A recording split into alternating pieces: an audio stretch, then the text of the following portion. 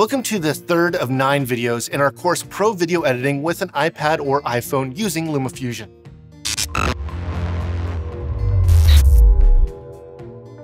In this video, we'll cover importing and using media. We'll discuss the main track, the enhanced magnetic timeline, and how to display track headers. We'll then go over preset transitions and markers with notes.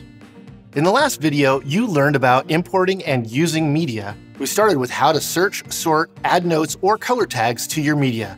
We then moved on to the different ways to import media. We then went over how to access media directly from an external drive or something like Frame.io. We learned how to add links to folders and how to use Storyblocks from within LumaFusion. And then we ended with how to create detailed metadata. Everybody's got to start somewhere, and that's why we've made a list, a shopping list of the nine essential things that every beginner filmmaker needs. It's really easy to get. All you have to do is click on the link in the card there or a link in the description, and you can get it today. So here we are on the iOS homepage, and we're going to open up LumaFusion.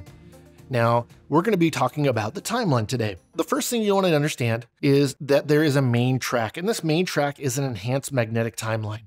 And so what that means is this main track here where I have these two clips already from our last video that is a drone flying. And this is where your magnetic timeline is really going to come into. So I can grab this clip and I can bring it up over the top of here. That looks a lot more like other editors you might have seen. I can also just grab it and drag it over here and just place it just behind this last clip. This is where the magnetic part comes in. If I let go, boom, it grabs like magnets to each other and there's no space between, no black frames, nothing to worry about like that. But more than that, you also have control over, I can turn on and off the tracks. So if I had this stacked over the top of it, I could turn on and off that track.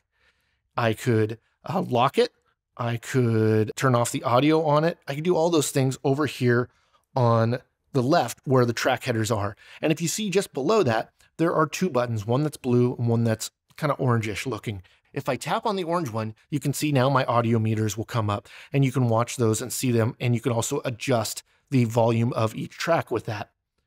Now I can hide it if I needed a larger workspace, or I can even hide all of the display track headers so that you can have all the workspace that's possible. Now, more than all that, let me turn that back on. I'm going to put this clip, grab it over here and drag it right to the end, use my magnetic timeline and bring it right here. But you know what? I don't want to cut between these two shots.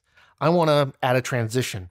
So what I can do is go right to the middle there and tap on the plus down here at the bottom of the screen. When I tap on that, it comes up with either adding clips or a voiceover or main title or blank clip or an overlay title. This is where we'll find these in later videos. But right now we're just doing transition. If I tap on that now, I have a cross dissolve between them. So let's play that.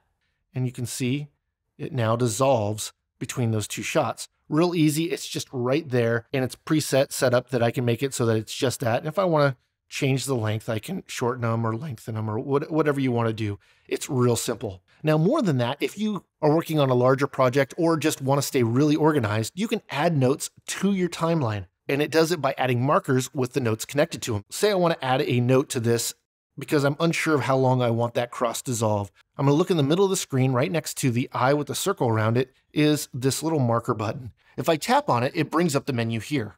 Now I can add a color to it if I wanted to, so I can go here and add a color, or I can add text.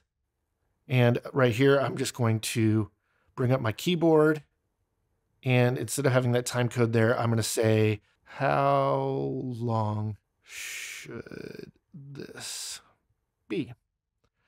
So now I have this mark that's here that if I go along, you know, you can still see the marker here, but if I get to it, right there, I can tap on it and now it tells me what it says.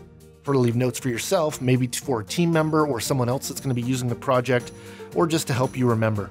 In the next video, we'll be going over all of LumaFusion's essential tools you need to know and how to use them. Take this information and challenge yourself to use it today. Thanks for watching.